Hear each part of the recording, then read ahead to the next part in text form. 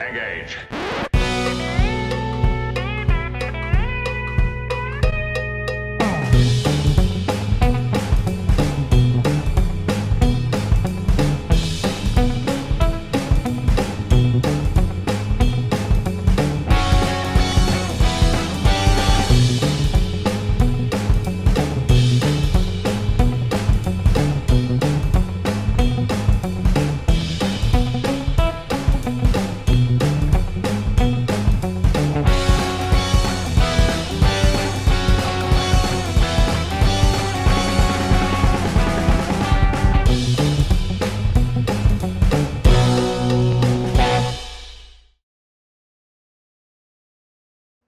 Welcome back aboard the Starship Texas for the 141st installment of the Tex Trek podcast, the home for Star Trek fandom from deep in the heart of Texas, where we talk deep about Star Trek.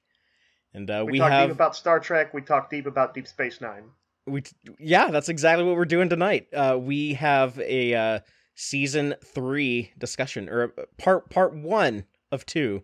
Well, kind of part one of three. More about that in a second. But we're talking about like the first half of DS9 season three. We've Yeah. discussed seasons one and two, and now we're moving into season three. We're gonna marathon through all the those 13 episodes in like uh, kind of quick format and uh, do our highlight reel discussion of what's cool, what's weird, and what's interesting about them. And just to uh, remind everyone, Dave, you are watching these for the first time. You've uh, Yes. never never gone this deep into Deep Space Nine until now. Yeah, no, that's totally true. And, and and like I know so little about it. Most of what I know is what gets mentioned on other shows. And there's um, some stuff that, like even that stuff I often have forgotten because I don't have anything to kind of ground it uh, with having watched it or anything like that. So even when we get to the first episode, I will have something where it was a surprise to me, even though it's probably common fandom knowledge, but something happened that was a big surprise to me. Well, let's just start at the top of the season with the two part opener, The Search Parts 1 and 2. I'm going to read the synopses I pulled off of Memory Alpha, and then we'll just kind of elaborate on those and then share notes. But Mhm. part 1, the synopsis is Sisko takes an untested Starfleet warship into the Gamma Quadrant in an attempt to find the founders of the Dominion.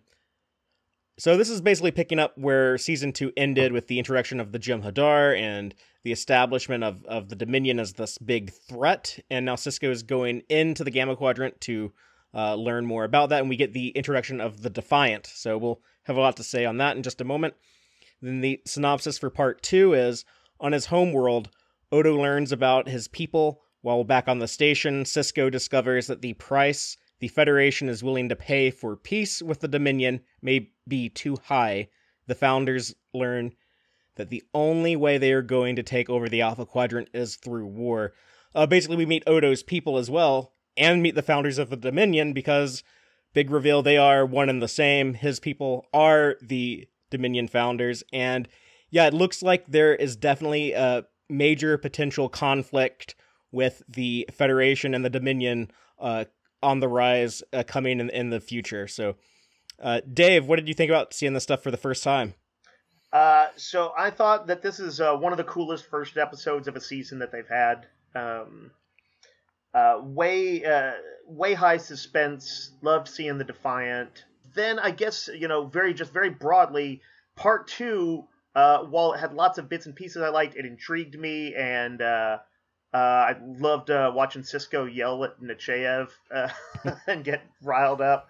Um, was was a little disappointing for part partially because of its virtual reality esque qualities, which we can talk about a little bit more when we get to it. Yeah. Um, but uh, I had my my two biggest things that I kind of didn't know about the show or didn't really get. One was that the Defiant was as big as it was, like that it was actually like a though smaller than other starships, pretty still a starship. I thought it was like a like it's just a kind of a slightly overblown runabout with a bridge and not much else. And uh, so I was excited to see that. Oh no, this is a cramped but big ship uh, that is just like this gunship that uh, can uh, deliver the punishment when it needs to, and it has a cloaking device and all this other cool stuff. I I sort of wanted to actually even see more of a tour of it. You know what I mean?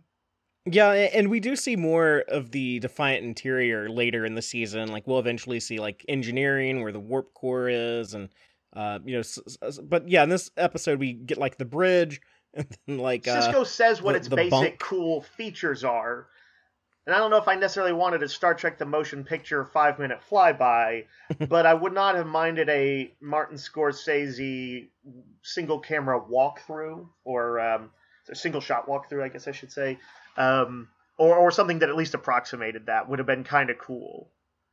Um, but you know, I understand they that was not something they could easily do in those days. Um, nowadays, I would want it. Well, that's that cool introduction right at the beginning of, of the episode with with the cloaking device, where it's like, "Whoa, this is a Starfleet ship that cloaks." Like that mm-hmm. is uh, that's new and different. So it's it's pretty cool right off the bat. Yeah, Sisko thought he'd play a little prank while they were all terrified that war was coming by suddenly decloaking right next to him. yeah, Funny, right, right when they're they're running simulations on uh oh like the the Dominion would totally like kick our ass and like conquer the station instantly, and then all of a sudden, like all of a sudden, the ship appears. He said he said yeah. he needed to test it though. He wanted to make sure it worked. No, no, it's a.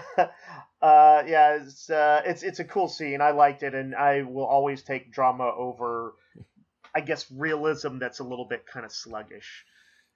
The um, in fact, that sort of sense of palpable threat and danger from the Dominion, which I did not expect to kind of buy into. I guess I'd heard about him years ago, and I was like, you know, just thinking about how Star Trek is like, oh, the Romulans are the big bad. Oh no, the Borg are the big bad. You know, and then they, you know, they would kind of keep upping the ante, and um, you know, I was like, I bet I'm not going to buy into this Jem'Hadar and the Dominion and stuff. And then when I actually saw it, I'm like, okay, they've they have done the job. Those guys took out a galaxy ship in round one. They teleported through like shields. Um, they are scary, and in this one the Defiant, after we hear all this cool stuff about it, still feels like it is very much the underdog, very hunted and threatened when they are traveling through uh, Dominion space, and like almost notice their their cloaking device like still is like imperfect, and the, the Romulan operator like what the, they kind of like what run silent, and they sort of figure out a way to like not get caught, but they nearly get caught. So it's super suspenseful. Yeah, when they have to drop out a warp because they're mm-hmm. they're kind of detectable at, at, warp, and the Romulan woman, uh, t- T'Rul, I believe, she's like, yeah, we don't like to share that with people who. She was uh, introduced as a, as a new character, was supposed to be a, a recurring character. They kind of drop her, but uh, we also get Eddington, the uh, security dude. She was uh, she was not born to rule.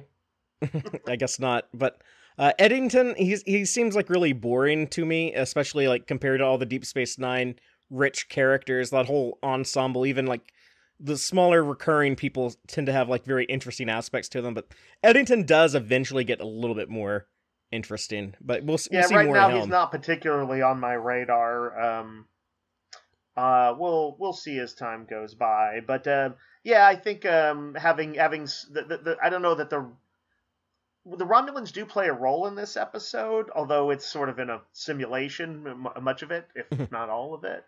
And so, yeah, her role of just I turn the flick the switch and turn the cloaking device off and on. Well, it did sort of feel real, like I could buy absolutely buy that would be the price the Romulans ask for. Um, she didn't bring the a dramatic, you know, persona to the table and or like a catalyst for more drama. So I completely understand why they kind of dropped that part of it. Whenever I'm binge watching DS9, I always get really excited when I get to this moment. Not only is like the reveal of the uh, Defiant so cool, and coming off of the season two finale, the Jim Jem'Hadar do seem like such a big threat, and you know I'm I'm ready to go see more of the Dominion. But uh, the the look of the show is uh, it's like much better looking uh, with the new director of photography. Mm. Uh, the the guy they had the first two seasons, Jonathan West, or I'm sorry, Marvin Rush uh, went to go work on Voyager, and then Jonathan West takes over on Deep Space Nine, hmm. and uh, he he uses a, a different uh, camera lens, and it makes everything look a little bit flatter, but like background stuff is more in focus.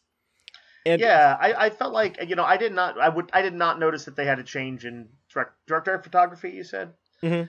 um, but but I did sort of sense that things were looking better, and I was like, man, some of those shots of the Defiant, especially actually in some later episodes, I was like, just beautiful looking, great shots of the station and planets and stuff like that. So um, that that makes sense to me that this was a new a new DP there. And thematically, it ties into something that happens in this first uh, episode of the season with uh, Jake and Commander Sisko unpacking their uh, Hmm. ancient African art decorations because Yep. they're like, we finally feel at home now on the station. So it, it, thematically, it ties into like the, the the place like looking more uh, like home, I guess. Yeah, I've read a little bit more, uh, or read a little bit about some of the behind the scenes stuff, including wanting to um, bol- bolster the family thing, and later episodes emphasizing Bashir and O'Brien, and therefore removing Keiko from the station for a while. And obviously, Odo and, and Kira start to percolate as a possible thing. So, so there's more of a familial bonding between them. Uh, that's that's that's interesting. I, I hadn't kind of considered how the visual stuff might sort of tie in with the thematics there. Yeah, there, and there's a lot of new stuff in season three. Like the Defiant is obviously a new thing, and, and they explain the Defiant in this new ward room set, their big uh, their big meeting room, and that's where Sisko Mhm. gets into the details of uh, well, it's, it's basically a warship, but officially it's an escort, and uh, he it's a ship he saw the uh, the design and the construction of back at the uh, at the shipyard, and if you line it up with his timeline, it occurs shortly after Wolf 359 when Locutus blows up the uh, USS Saratoga and kills Mhm. Jennifer Sisko.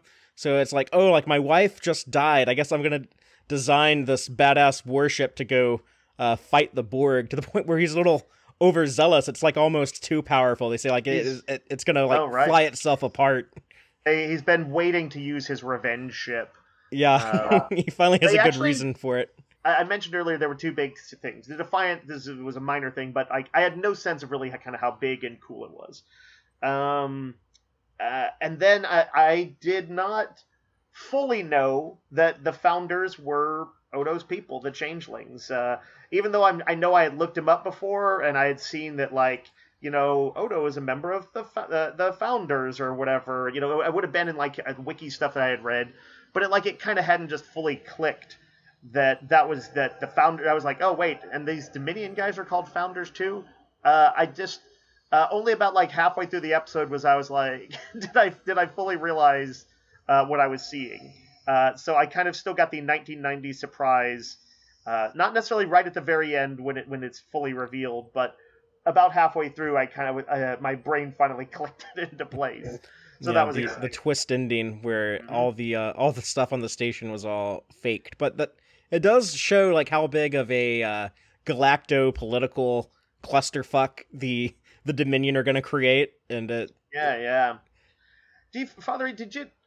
It. I don't want to say it bothered me, but it, it slightly bothers me that the uh, the founders were like an oppressed people who kind of became oppressors. I.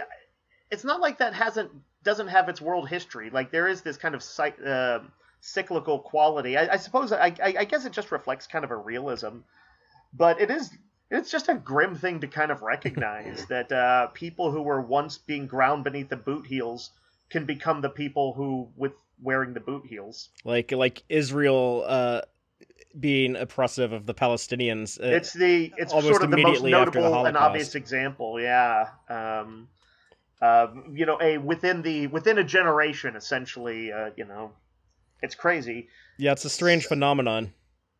Um, so yeah, I guess it's just realistic uh, in that sense. But but poor Odo, he goes through like all these. You know, uh, uh, Rene Auberjonois gets to go through all these things of that that Odo doesn't normally show of like wonder and uh, exploration and excitement. And uh, he also just randomly puts his hands on one of them and just fucks her.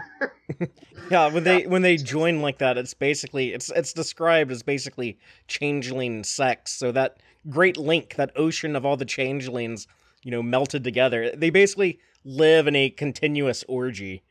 I mean, as uh, pitches go to join to join back with your people, it's a pretty good one. It's gross, but it's good. Hey, strange new worlds and new civilizations. That's what the show's all about, right?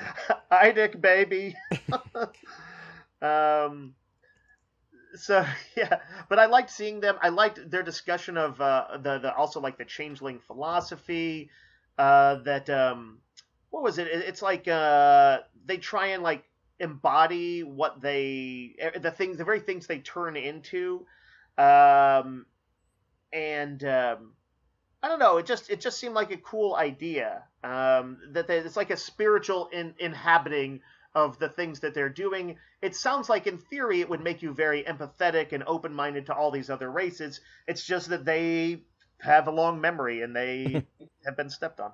Yeah they're they're obsessed with uh with dominion with with dominating and, and order maintaining order. And it, it's interesting also how that has like manifested in odo. He's always felt like a, a, a, desire for order but with him you know he's always like seeking justice trying to you know like like like see, the, see that the bad people are punished the innocent people are protected and it's something like he's very passionate about and then he, he sees where he got it from. He's like oh like these people have always wondered about like they actually suck. But yep. he realizes in finding his people, he realizes that his people are, you know, the people on the station.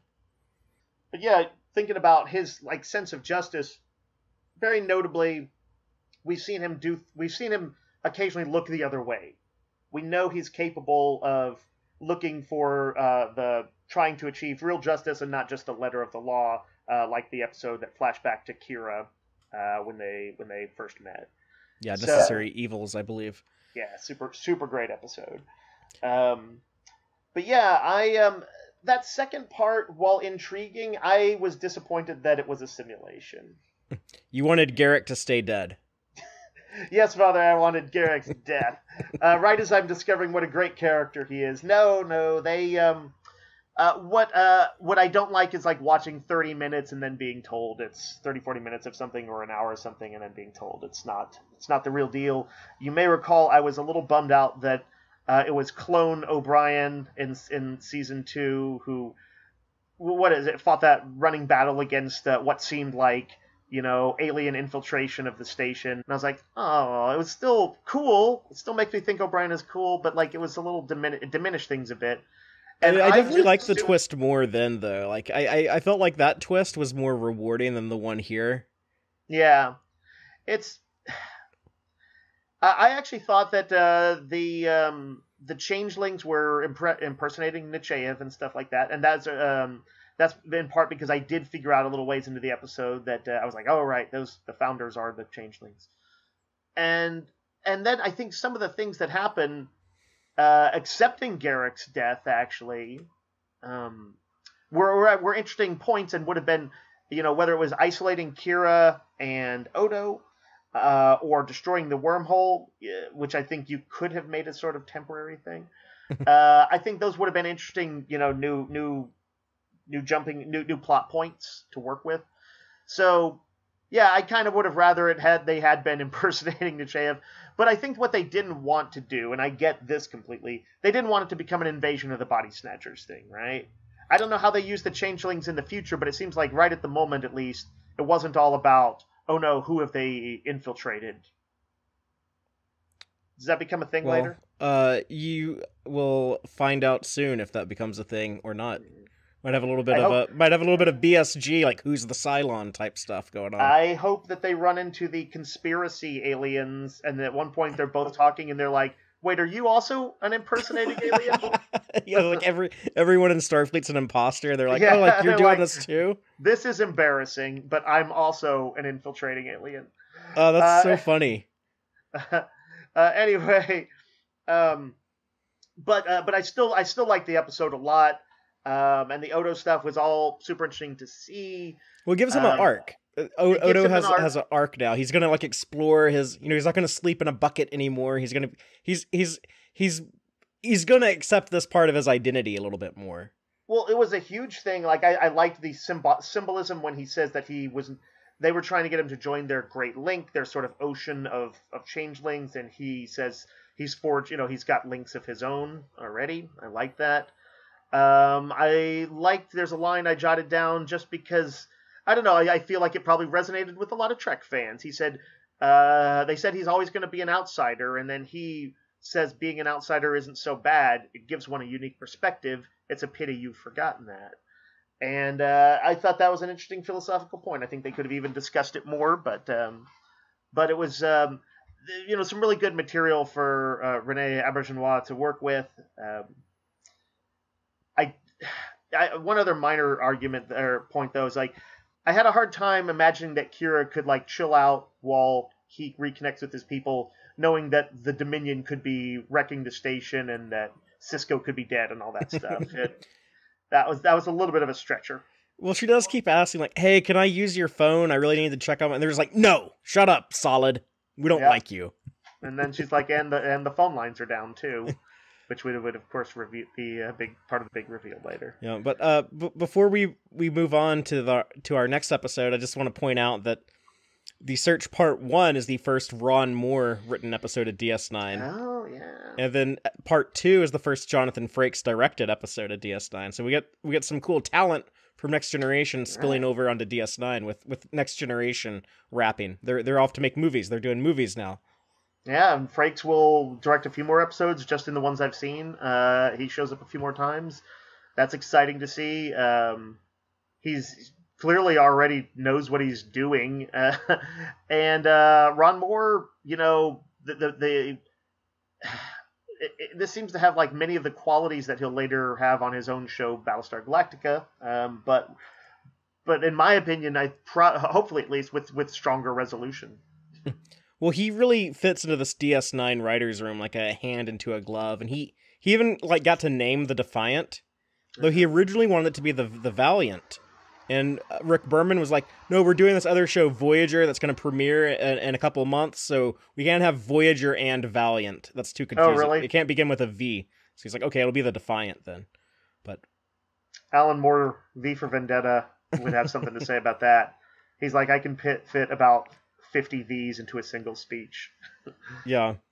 Uh, but Star Trek had no room for both a, a we did actually we see a USS Valiant but it's just a one-off ship in, in a single episode. But later, it's it's coming up. We're not we're not there yet in season three. Defiant's a good name. That they it ends uh, things worked out. Yeah, and Ron Moore being a big TOS guy, it's a name that was used in the Tholian Web. Uh, that's right. That's right. And then used again in Enterprise eventually, and uh, then in Discovery. So it's uh yeah we it's we made uh, its way around. Defiance. Yeah. But yet, uh, yet anything we... else on on the search parts one and two? Uh, I don't think so. I don't think so. I, I, I think it was a, like a really strong kickoff to the season, though. Okay. Well, speaking of Ron Moore, he also wrote season three, episode three, "The House of Quark." After Quark lies about killing a Klingon in his bar, the dead man's widow abducts Quark to the Klingon homeworld to marry him. the synopsis kind of makes me laugh, but it's it's accurate. That's exactly what happens you know, um, I guess Ron Moore uh, isn't all grim, grim dark uh, material. Um, no, he can do comedy. I mean, some people do don't com- like the Ferengi funny episodes, but I I love all of the Ferengi screwball stuff. It it made me laugh as a kid. It makes me laugh as an adult. I, I love this uh, part of Deep Space Nine. I have slightly mixed feelings, and sometimes I, I don't love the like. I guess I'm going to call this more superficial uh, Ferengi things like, oh, they get horny when you touch their ears. Oh, they're all greedy. I, like sometimes it's a little on the nose, uh, but uh, I think this is actually one of the best Ferengi comedy episodes. I, I, I actually thought, by the way, Fatheree, that it was not real when when he went to the Klingon homeworld and was like in tri- on trial and stuff. Mm-hmm. I was like, oh, they've already done a virtual or like suggested virtual reality show. I bet this is not that, but that like Odo to teach Quark a lesson about lying, hired some Klingon actors and is using the hollow holosuites and he's teaching him a lesson. Um, because he's going to end up like in front of a firing squad or you know what or in a duel. Uh, so uh, then about halfway through the show, I'm like, no, I'm pretty sure this is real. they they bring in a uh, Gowron from Next Generation. Gowron right. actually appears in more DS9 episodes than TNG episodes, but this is the oh, first one. We're going to see a lot of Gowron though. They they're they're gonna explore a lot of Klingon stuff going forward. I uh, I have a thing where I like sort of watching people uh, weasel out of things, uh, like dramatically speaking. Like I gotta root for him. It's like he's trying so hard. My God.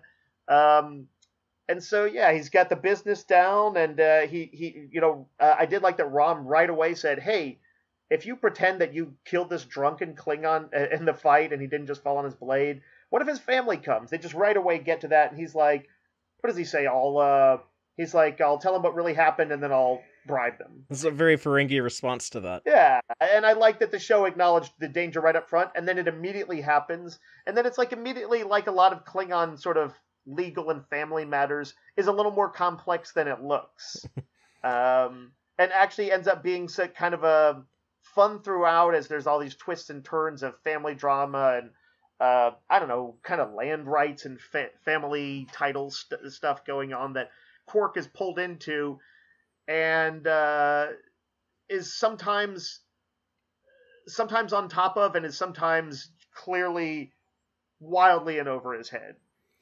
Well, I always enjoy stories where like the person like being true to themselves and like doing like that that thing that's kind of like unique to them is like what actually saves the day. Like you know, like Rudolph with his red nose. Uh, right. That so, Quark's business acumen and sort of sleazy ability to sort of cook the books. Yeah, he like, sees that uh, secret strength. The the Klingon, the the bad guy in this episode, D'Ghor. He's the rival of uh, the dead drunkard Kozak and has mm-hmm. been uh, attacking them th- with with money for years. You know, like devaluing his property and you know doing stuff with like the people that Ko- uh, Kozak was in, in, debt to. And uh, the scene that makes me laugh is when Quark is like going over like all the numbers with Gowron and the Klingon High Council, and they're all like they're struggling to keep up with them on their little oh, yeah, pads they're, they're and stuff. Just, yeah, they're like, "Stop it!" yeah, there's like, it's I don't want to like hear any more of this. It's kind of how I, everybody I think felt when they were watching um, the Star Wars prequels, and you kind of wanted them to st- to stop talking about tariffs. oh yeah, like, like like trade route taxations, and you're like, no, enough, move on. Uh, um, we delegates move for a vote of no confidence and all of that. I, I bought the way that the the fight, the duel worked out because you're right. Like yeah. obviously the Klingons are gonna be violent, and they're not gonna, you know, they they they don't mind like killing people to get their way. So how is Quark possibly going to survive this? And I think the way that they handle that, where he just like refuses to fight, and and he tells Rom at the end, he's like, yeah, but like if that didn't work, I would have been fucked. Like that was that was my last card I had up my sleeve. Yeah. Uh, yeah, no, that was great. The uh, Klingon was essentially shamed for being still eager to kill a defenseless guy, and you know, and, and he, in fact, the whole problem with D'Ghor is that he was too too Ferengi like in a culture of warriors. um, yeah, he he and he and Ron, uh, him he and Quark could have probably gotten along under other circumstances since they use similar tactics. Um, the episode opens with a cool Morn moment where uh, it's like a quiet night at the bar. Morn is the last customer still there and he's talking to the uh lady and then like they they you don't really hear what they're saying but like he gets up to leave and like he turns back to Quark and like gives him like the thumbs up. Mm-hmm. and you're like oh like Morn's getting laid tonight I guess. Then and then Quark is like uh, yeah when when Morn leaves it's all over. Like I'm not getting any more customers tonight. Except for this drunk asshole who can't pay his tab yeah, Morton gets a few. Uh, he gets a few scenes at least that I've already seen this season that are that are pretty fun. Um, there's also a, a B plot that involves uh, Keiko. What she shuts down the school in this one? Yes, because a lot of a lot of people have moved with the Dominion threat. Yeah, I, I actually I thought that was a cool, like an interesting idea.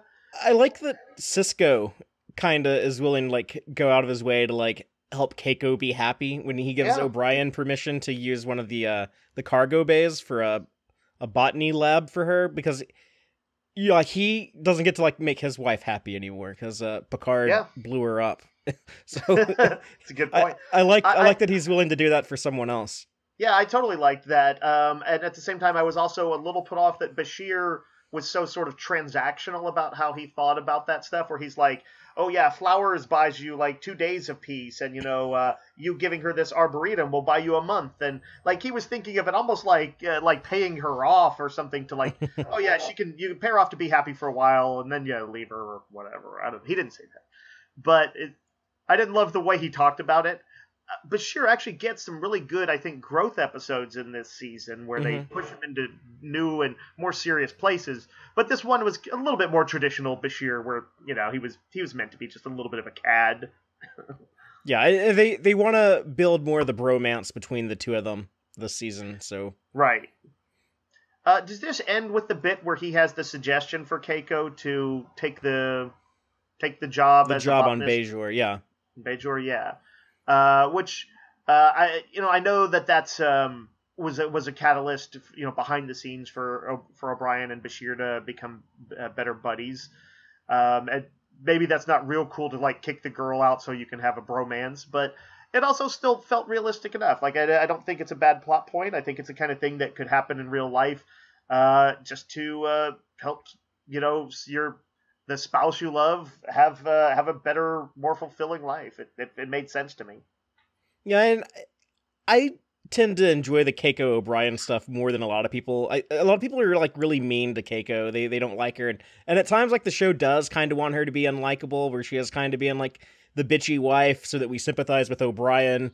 Uh, but Right. uh, she also gets like good moments too that I think are are criminally overlooked. So when when we continue to talk about these episodes, I'll try to point those out when we come across them. Sounds good. Uh, overall, I uh, rate this as uh, one of the highlights of the season. I think it was I think it was a super fun episode though.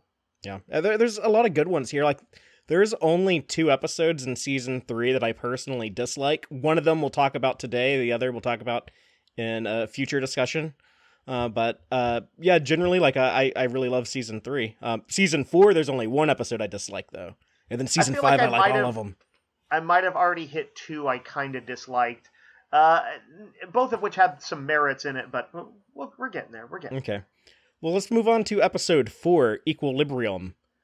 Jadzia Dax is plagued by disturbing hallucinations that allude to the dark past of the Dax symbiont. Uh, this is the uh, big Trill episode where we go to the Trill homeworld and we see a lot of the same stuff again in Star Trek Discovery. Right, which was for me the first time I saw it. Uh, so this was uh, uh, this was me seeing it. Uh, my my second viewing was its first chronological presentation. Cool way to explore more of like the Trill culture, and we get to see like you know the symbionts in their cave and the the Guardians, and learn about the uh, isoboramine or whatever it's called, the isoboramine levels. Yep. Uh, but but but yeah, uh, Jadzia starts having like these memories because it turns out there is a there was a secret, kind of like the the War Doctor in Doctor Who, where there's like the secret Doctor regeneration no one knew about. There was a, a secret Dax host that no one knew about, who was a uh, psycho killer, and it's uh, it's starting to manifest in her personality. That was kind of nuts when I when I when they got to that. I was like, well, what? Um, and she yeah, she's got creepy dreams based around it with lots of masked masks in it. I, I, was fascinated. I would sometimes read the Memory Alpha has some kind of neat little notes and stuff at the end of their uh, write ups, and and like sometimes an episode would begin its process, uh, its script stage, so different from how it ended up. Like I think that one was like actually inspired by somebody who had like masks as part of like like a carnival act or like a like a one man show or something like that. And they they just wanted to do something with masks. Like literally that's all that it was. And then it somehow it you know it spiraled into this uh, this episode that's all about you know has a lot of history of the Trill, has some big reveals about uh, the the Trill and who can and can't be joined. Um, but yeah, its gestation was very different from what it became. Uh, I liked that uh, Terry Farrell is that her name? Mhm. Uh, that she got to kind of like get uh, act out and get uh, freak out on uh, Sisko and uh, Kira early on. I, I'm sure it was she's you know she's always kind of chill. She's she's usually very laid back in a lot of ways, and she got to like get pissed at them and all accusatory and shit.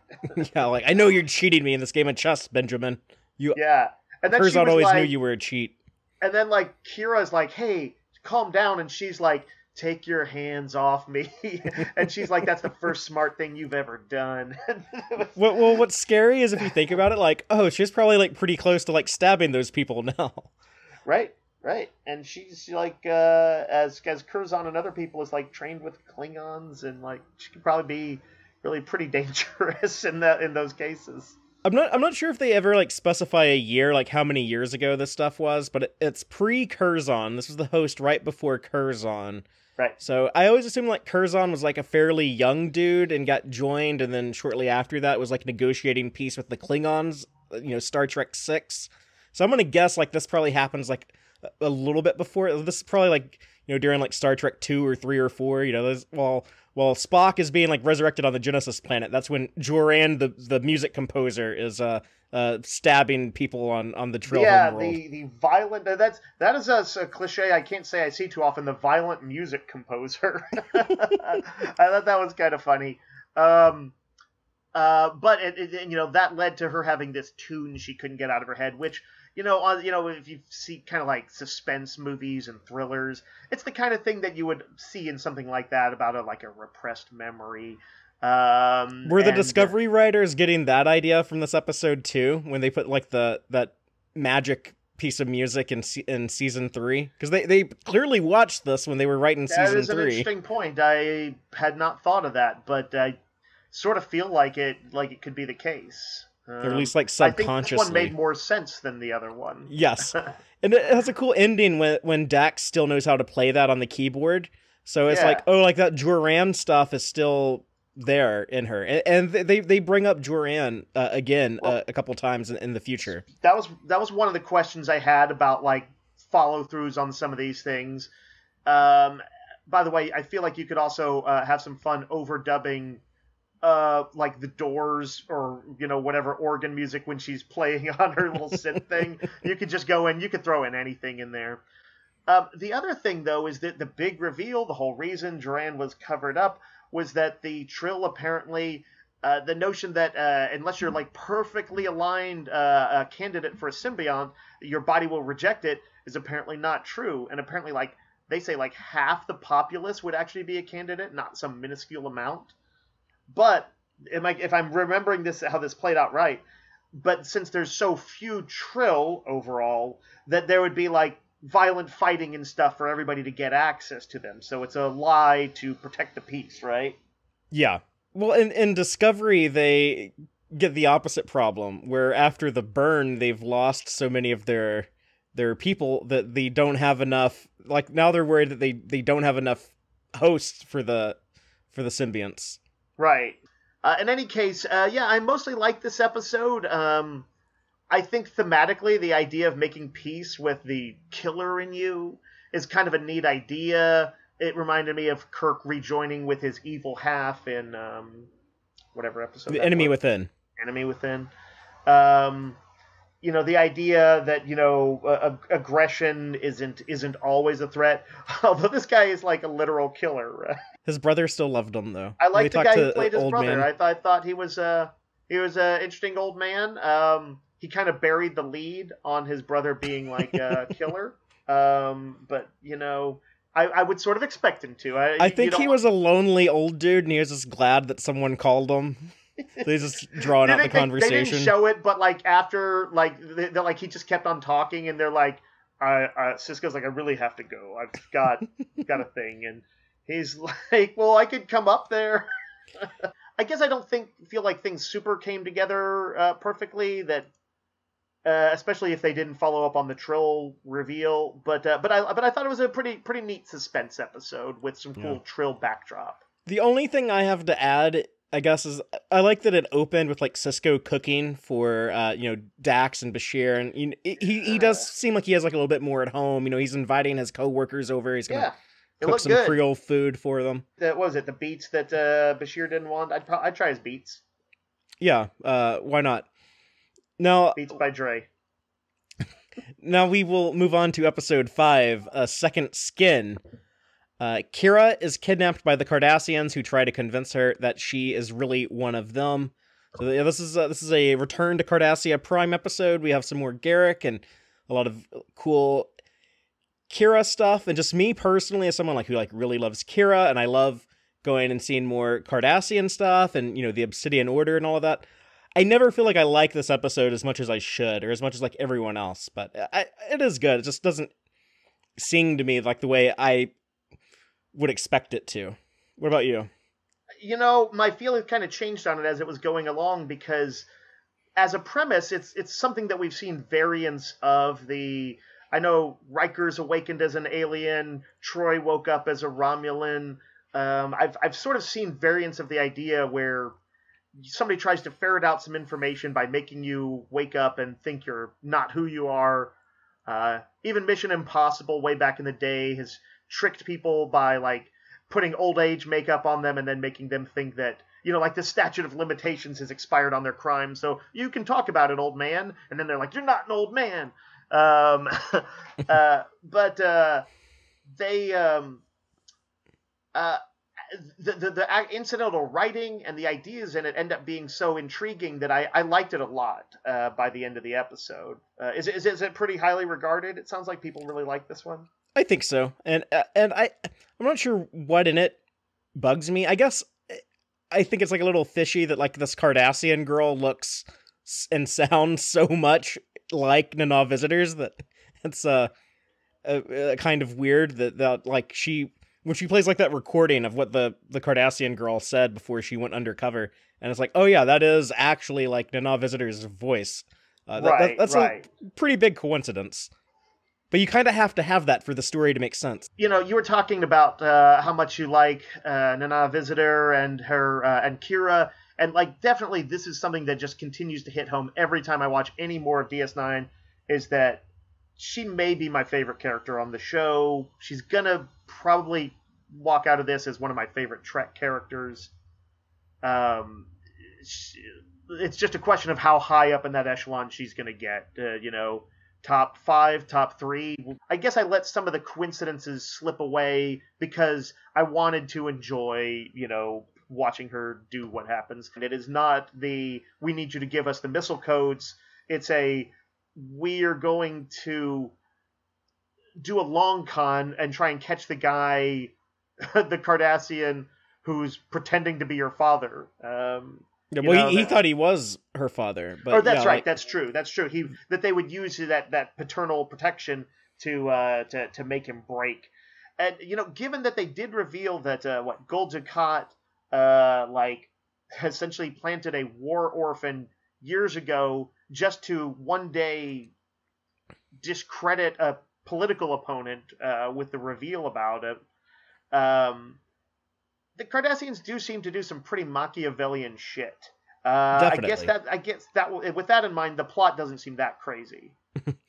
and uh, he's a pretty like likable dude. Like he just wanted to get his daughter back, and uh, they they follow up on on this relationship between him and, and Kira. Like like she's made like a Cardassian friend, so that's like some some growth for her. Well, and the show, I feel like maybe even at this point in the game, that we've seen more diversity in like the Cardassians than almost any other race. Like sometimes like Romulans are just they're just always about the spy subterfuge stuff, and until you get to Picard, violent honor stuff. What's that? Picard fleshes out the Romulans but yeah, right. Was, but like overdue. point, um, you know, usually they they they still lean into the alien races are mostly one key philosophy is is will define them, and and yet I've seen a wide variety of Cardassians, even this only three seasons in, um, and and like a, a lot of either caring Cardassians or even like kind of bad Cardassians, but who are not, you know, they're not doing it sort of, uh, uh you know, they, they've they've just been raised that way. You know, they're they're part of a sort of the fasci cult, and uh, they they just go they they go with it because it's how they were. It was burned into them from childhood. So so yeah, you, like I feel like you see a lot of variety of, of Cardassian types. Even in a few episodes, we're gonna see uh, Gul Dukat being uh, sad that he's missing his kid's birthday. Uh, yeah, so. Uh, um, and they follow up on the dissident movement uh, that was established in season two with uh, with Quark's uh, girlfriend uh, Natima. And it's sad, like we see like w- this young Cardassian soldier who's part of like this dissident movement. Like he's probably like a cool dude, and he, he gets vaporized by the Obsidian Order here. Right, right. Yeah, the Obsidian Order is pretty scary. It does seem like this was potentially their opportunity to quash the entire dissident movement. Like I can see why this would be however, you know, kind of whatever strings they had to pull in this to make it happen would be worth it to them uh, if they could do it. it gives Garak something to do in this episode, and I like I like how like he was like, "Hell no, I'm not going back to Cardassia Prime," and we still don't know exactly why or all the details or anything. But uh, Sisko uh, Sisko blackmails him again. He basically does the "We'll get you deported if you if you don't do this." Uh, uh, Sisko uh, once again clearly not above some uh, manipulation of his own. When they're they're spotted on the way by the the ship uh, out on patrol and they have to fake the uh, that they're these uh, these cargo hauling I guess basically like truck drivers like from mm. Alien. Uh but they uh don't pull that off. It doesn't work. And then Garak has to like give them like that that command code or whatever then the, the Cardassian Gul just completely changes to a different tune he's like oh my god I'm sorry didn't mean to interfere uh yeah. and Garak says, uh, "Oh, just something I overheard while I was working on someone's trousers or something like that," you know. Yeah. Uh, yeah, Garak is great in this one. Um, uh, just as I always continue to enjoy more of Kira, uh, Garak, I like, you know, every time he gets a spotlight, I can see like the writers seem to love writing for him. Uh, he gets a lot. He gets to actually kind of be a badass a lot, um, and sometimes uh, it's it's like a badass because the acting ability is so good. Uh, of the who's the actor who portrays him? Andrew Robinson. And, Andrew Robinson.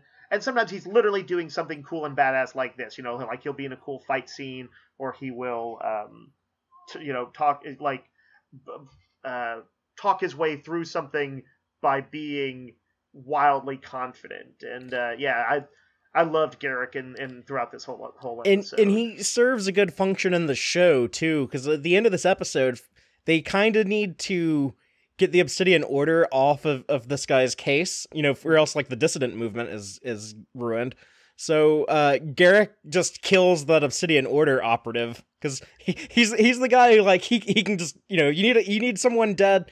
You we can't, probably can't have Sisko do it or Kira do it, but Garak, you know, he can just shoot this guy and no problem, yeah. you know. Yep. Yeah, no, uh, uh, you could you could put together a. I've already seen again just in three seasons. You could put together a great highlight reel of best of Garak moments uh, through just from these seasons.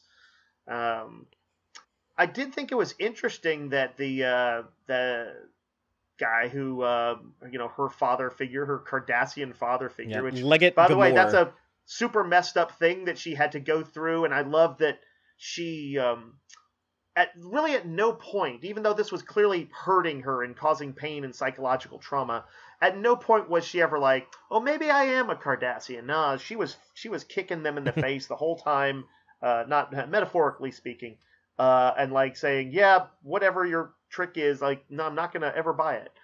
Um, Did you ever believe it? But, Were you like, "Oh my god, is Kira actually a Cardassian?" Not really, but I was like, I was sort of doing the, where is this going? Like I, I couldn't figure it out, and so I, I liked sort of the swerves it took at the end. Um, uh, but but I, what I was getting to was that you know her father figure says don't trust Garak at the end. He's like whatever you oh, do. yeah, that's so and, ominous. And it is, and like I'm like oh man, you know like I certainly like I like Garak, and I don't want them to. I don't want that to be how people think about him.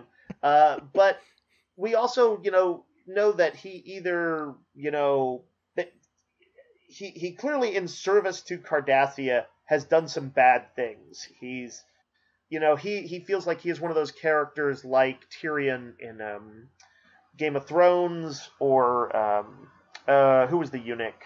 Um, Varys.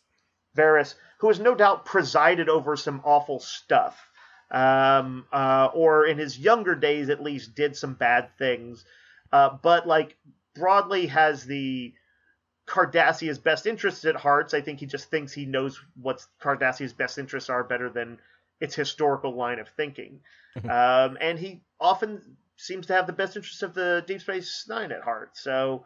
Um, I I was like, no, no, don't be a bad guy, Garak. it kind of makes him more badass, though. Like, I think it'd be really cool if some I guess we don't have a central command, but I like I don't know, a United States senator was like, "Don't trust that Fatheree guy. Like whatever you do, like he's so dangerous." like, oh, that, that yeah. would make me sound pretty badass, actually. It's, it is definitely adds to the mystique. It definitely adds to the mystique.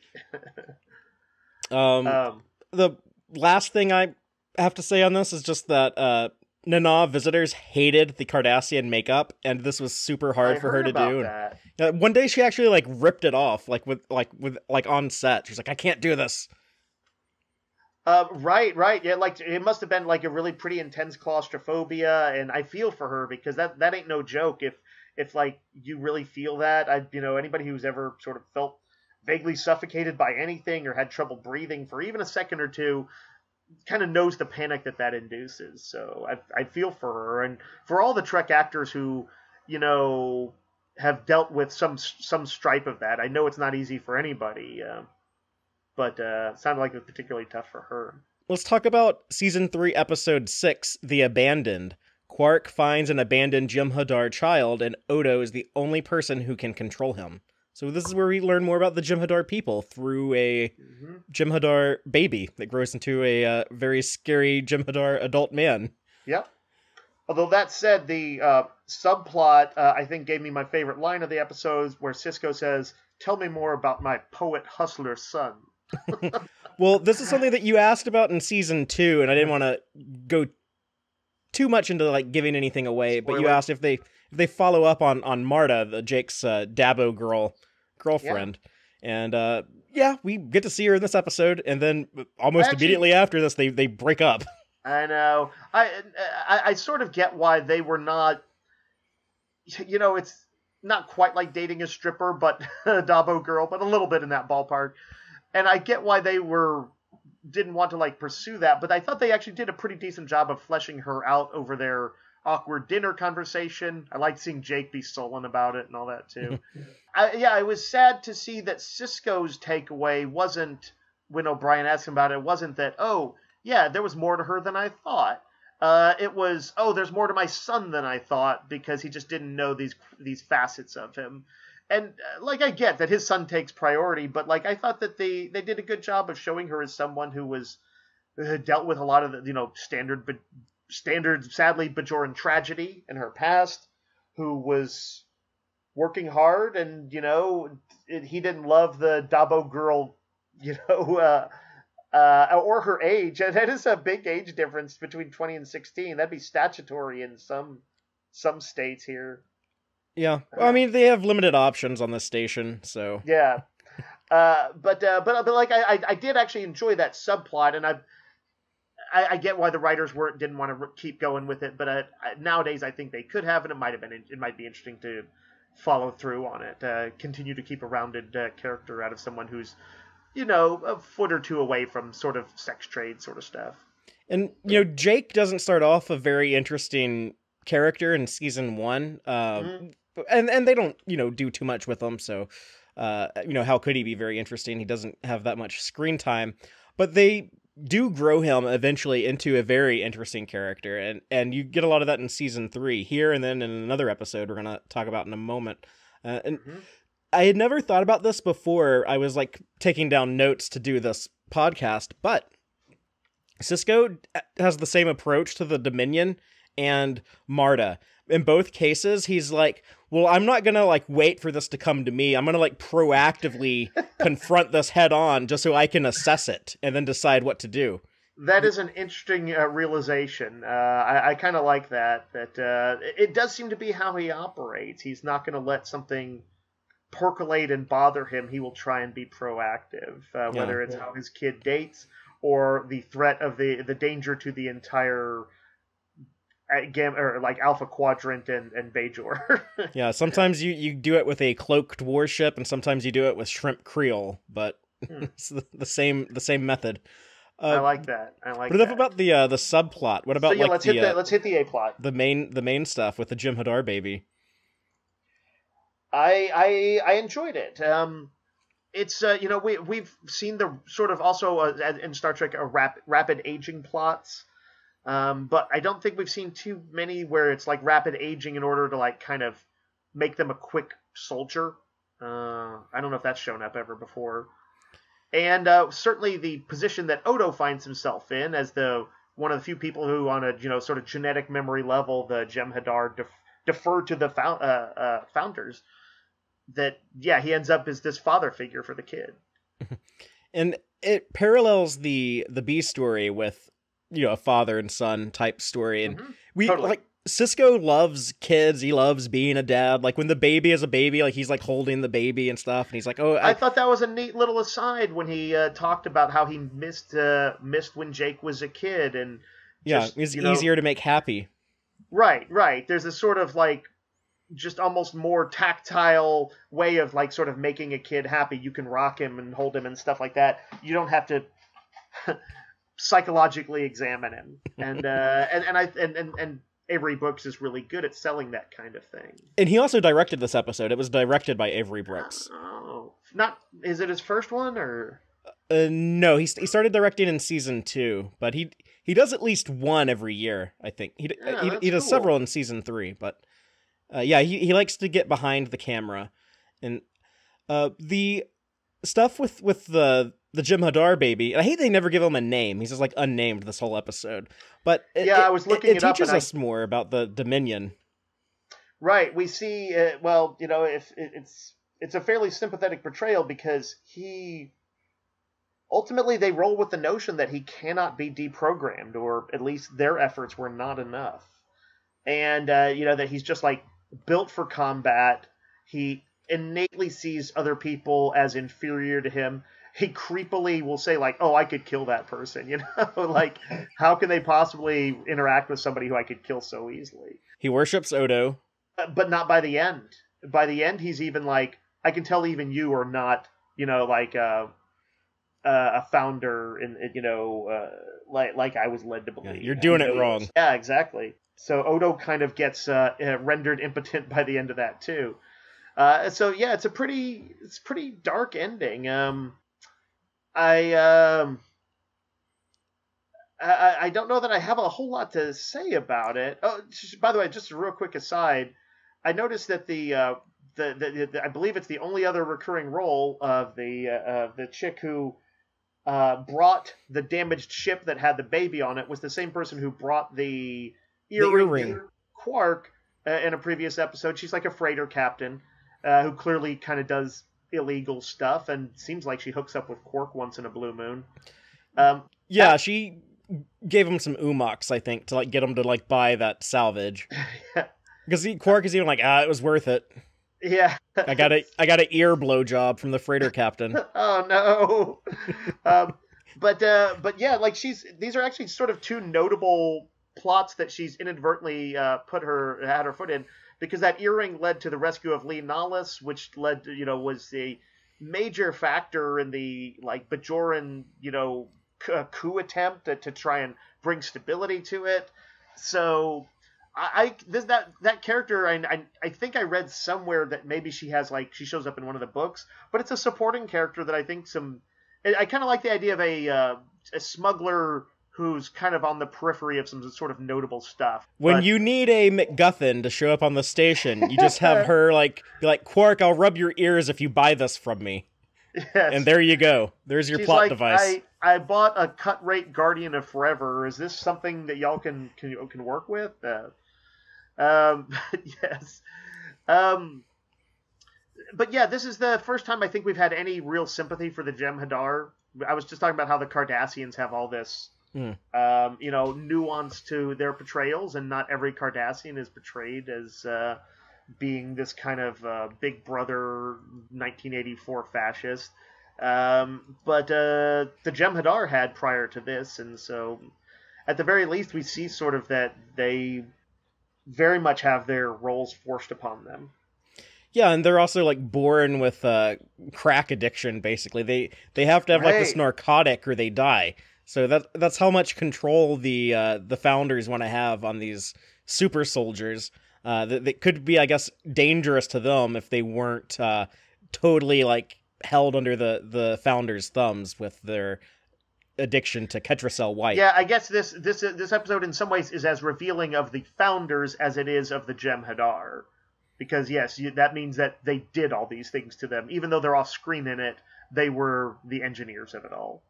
So fuck you, founders. You're a bunch of jerk faces. And you remember Tosk, the uh, the in- guy who could turn invisible, who was hunted in season Yeah. one and became buddies Yeah. with O'Brien. Mhm. Uh, his design is kind of similar to the Jem'Hadar and the uh, the makeup dude Michael Westmore has suggested that uh, he might have also been like a genetically enhanced creation of of the Dominion. Um, like the Dominion like made them to like give like those hunters like something to hunt or something like that. Yeah, I, li- I like that. I think that'd be a neat expanded universe reveal, a little little thing to drop in somewhere. Are you ready for uh, season three, episode seven, Civic Defense? I am. Sisko, Jake, and O'Brien accidentally trigger an old Cardassian security system that believes the occupation is still going on and the station has been taken in a Bajoran workers' rebellion. Yeah, basically the uh, the station's computer is trying to, to kill them, and uh, they're they're in trouble unless they can get the the right codes or you know whatever they need to do to like shut it down and get it out of like attack mode. Yeah, I was trying to figure out if I had seen this plot play out before. Um, I've, you know, it's a, it's, I guess, sort of a variant of uh, you know, once Gul Dukat gets caught in his own trap, of sort of uh, the old uh, Dukes of Hazzard, Boss Hog, and uh, somebody else trapped in a bank vault together and forced to make their peace. But I, I don't quite remember. I can't recall seeing it uh, exactly. Um, and and I thought it was a kind of a neat neat suspense plot. Uh, you know, just a um, because basically they're always extending the clock just a little bit longer. You know, and I and I like that. I like a kind of a good suspense thing where that um, uh, the the scythe is like hanging over them the whole time. I like that little refinery area that they're in. Uh, if you check out the Seventh Rule, the uh, podcast that uh, Cirroc Lofton does, um, that uh, was originally with with Aron Eisenberg, but um, you know before he sadly passed away. hmm But he tells like the story about you know when he was a kid playing Jake Sisko shooting this episode. Uh, Colm like crawled through that that little crawl space area, and he was like, "Oh my god! Like there's a bunch of spiders in there." And then like right before like Cirroc had to like go in there as Jake, and there wasn't any spiders in there, but he was Meaney had like convinced him that there was, and so he's like really scared to go in there. What an asshole! that's uh, that's uh, that sort of sounds like what I would expect of him, though. Uh, that's that's messed up. He's messing with the kid. Uh, as a prankster. Um, by the way, I loved uh, the the kind of the recurring, um, I guess, uh, tempo of the episode is set by one recording after another of of uh, Gul Dukat appearing and saying like, what is he like? Attention, striking Bajoran workers. yeah, something? a- a- attention Bajoran workers. That's a meme. That there's a meme template of of Gul Ah. Dukat on that screen saying like attention Bajoran workers. Right. This is like where the, the, all the variants of like you know the beatings will continue until morale improves or something like that. Yeah. Um, I, I now that now I, I you said that and I was like, oh, I have seen that. I had forgotten that. But yes, uh, uh, it, it's actually pretty great. Uh, like a neat bit uh, when. Well, first of all, it's like Sisko gets frustrated and he's like, I hadn't realized how much I hated his voice until now. but then, of course, he himself becomes victim of uh, Cardassian duplicity when he kind of uh, gets in a bit of a spot and then like his superior appears and he's like i see, see you have betrayed us Gul Dukat it's like you will be uh, you will also die with the workers for having Yes, sided it's with them it's uh Inception. It's like like uh like Cardassian uh safeguards uh, inside a Cardassian safeguards. Uh, he's so cool though when he comes over to the station when he's like just standing there in ops while the the phaser is like blasting at everyone, but it's not going to shoot him, so you can just like right you know we walk around and lord over just them. some random person so we know it means Yeah. business Yeah, it's a like a red shirt death. Yep. And he's just standing there, kind of talking in his gloating style and uh, talking about like the uh, what he's going to force them to, you know, the uh, concessions he's going to force from them to to help them out. Uh, when yeah, suddenly things go wrong uh, for him as well. Um, the episode. Um, it does a, does a bit of interesting stuff where they break up interesting groups of people. Uh, you got um, the father and son, you know, as well as O'Brien working together, and you have Quark and Odo stuck together and the, kind of bolstering each other's spirits a little bit uh, as they, uh, with a little bit of grudging, uh, reveals they kind of complement each other. Gul Dukat and Garak uh, have to like work together. I love the uh, moment between Quark and Odo. I was actually like replaying this episode while I was working on something um uh, night before last, and uh, I just had this on in the in the background, and I, I laughed out loud at the moment when Quark tells Odo like, uh, yeah, the, like the reason why the Cardassians, you know, locked you in to your security office is because you know they knew you were a, a man of, of honor and like couldn't be trusted. And it, it, it's like a compliment but then like he adds on to it like and um now your honesty is going to get us killed or you know something like that. Yeah. Yeah it's uh, such a quintessentially sort of Quark thing is like he kind of can't just let a uh, compliment hang there. I love the Dukat and Garak stuff we get here too, and and we still don't know why Dukat hates Garak, but we get a little tidbit that's something to do with like du- Dukat's father, where it, right, that's right, and also like Garak outs what I guess is real that Dukat has a thing for Kira.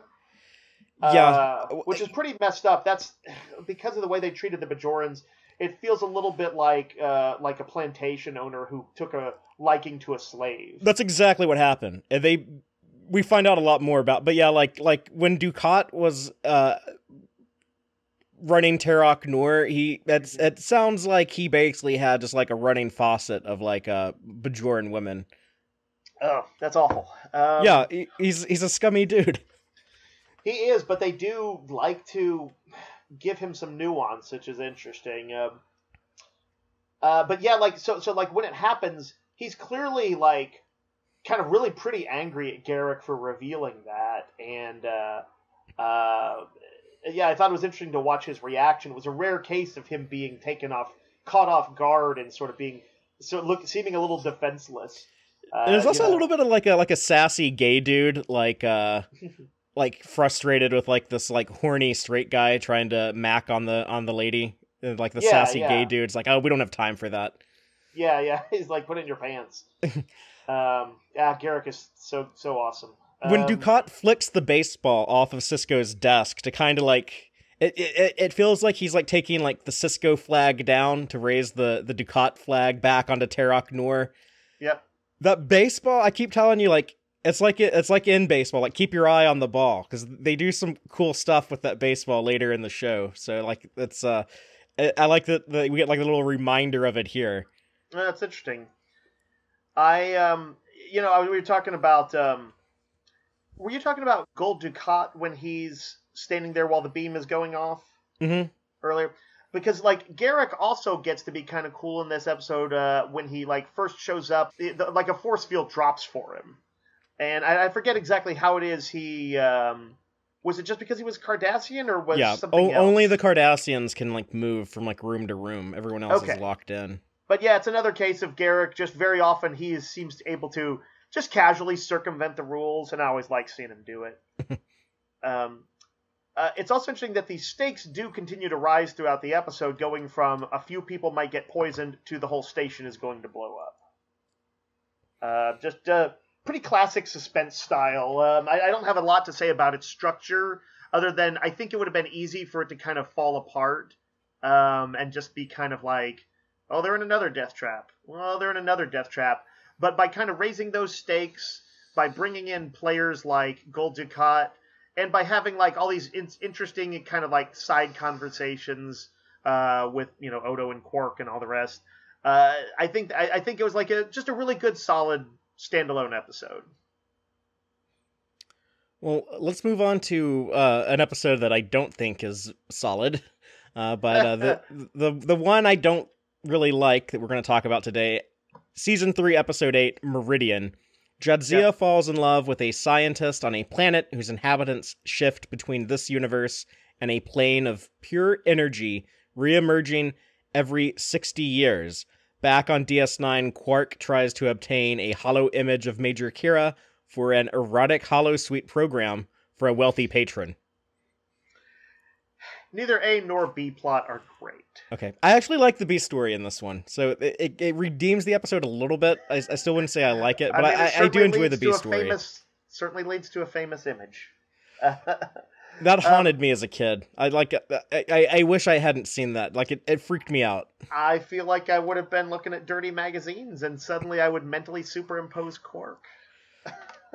wow. Um, but uh, the so I, I, I was reading up on this, and I and I it didn't occur to me while I was watching it, even though it should have been obvious that the plot is ripped from a uh, old musical called Brigadoon. I don't know if you've ever seen it um, or know of it, but it's it's it's about like a mystical Scottish, almost like fairy tale like glen, of like a village that only appears every hundred years. So where it's like still kind of like old country, uh, like a quaint, beautiful village with happy people living in it. And uh, if if you if you happen to be there on the day it appears, you could go and like live there. And uh, so that was their space brigadoon uh, mm. sort of thing. Uh, it's a solid solid musical from like the 50s uh, with some a few really good numbers if you catch it but um, maybe 60s. Uh, but anyway, uh, you know, I think whenever they kind of try and have somebody fall, like really fall in love with somebody in just the space of an episode, there's always the risk that it just kind of rings false. It just kind of feels a little hollow. Did you? I, that's how I felt. Did you feel that way? Yeah, it's hard to buy that Dax would be so like head over heels for this dude that she'd be like, you know what, I'm just gonna leave Starfleet for 60 years and go be a energy being with him. I, yeah. I get that like well you only have like a short window, so if that's what you want to do, like you better do it. And and Dax is so old and long lived that I could kind of see Dax being like, well, you know, this is something new I haven't tried before, so I might as well do it. But he's kind of a lame dude. Like I don't get what was so like uh you know someone like as cool as Dax would she see in him. Well, right. Early on, he's just like they do. They have a scene where they like hit it off like over dinner while everybody else is you know, kind of getting to know the other inhabitants of this uh, space brigadoon. And yeah, he doesn't really say anything that's that interesting. He seems fine, you know, but they kind of do that thing where Dax has to be like, "Oh, oh, what, what, you know, how interesting of you to say that," and like, you know, I'm like, I guess I feel like Terry Farrell is kind of being forced to do something she that that is not there on the page. The script does not contain the words that you need to have to see somebody wooed like that. Like compare that conversation to the conversation between Sisko and Dax, that heartfelt goodbye, which actually is a very good scene when when he's like in tears, he's like next time you see me I'll be 90 years old, I'll probably be like a great grandparent and then she's like I'll call you old man and like that, that's almost, a good moment. That scene is so good, it almost makes the whole episode worth it. Um, there was a there's a really beautiful bit I thought where he embraces her and they hug and then he kind of walks out without saying another word and you just briefly see his face and he looks really pained. He looks like he's about to break down in tears and like he had to walk away before it happened. Um, and um, and and i actually have several times throughout not just this show but this even this season i've seen a few some of the actors pull that off real tears. And um, it's it, you know it's really impressive when they do it. It's it, it actually seems very real. So a great scene in a otherwise kind of meh episode. Speaking of great scenes, this is a very minor, like two second scene when um, Quark is trying to connive Kira into like going to the holosuite so he can scan her to make this porn program basically out of her. Um, yeah, he's making deep fake porn. Yes, that is exactly what it is, and they just need to get the scans in. And so uh, he's like, "Oh, hey, you're my millionth customer, and you've won this bottle of wine and these chocolates or whatever, and a trip to the holosuite." And she's like, "I don't really do the holosuite." And he's t- trying to talk her into it, and she's like, "Oh, hey, I've got a friend who this would be a perfect gift for. Oh, I'm gonna go give it to him." And he walks off and he just looks to like Rom who's nearby watching and his expression of oh fuck it all he's just kind of like like kind of like laughing with just despair. Uh, it's so it's so funny it's so good. Go back and, and people should go back and watch just that one scene.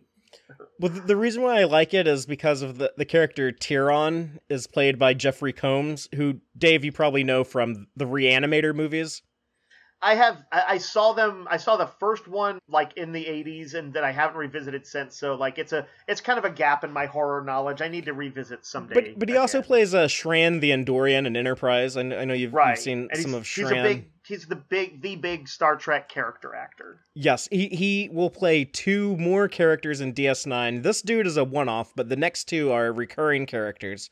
Uh, you you haven't met them yet, but they'll show up eventually. And he also shows up on Voyager, and he plays a uh, Ferengi also on Enterprise in addition to Shran. So yeah, he, he's he's kind of like Star Trek royalty just because he's he's done so many memorable recurring characters and he is a, a, guy the fans want to see show up in Strange New Worlds. I don't know if we'll we'll get that, but a lot of people a lot of people want him to be like, like Doctor Boyce uh, from from the Cage, the the Doctor. Mm-hmm.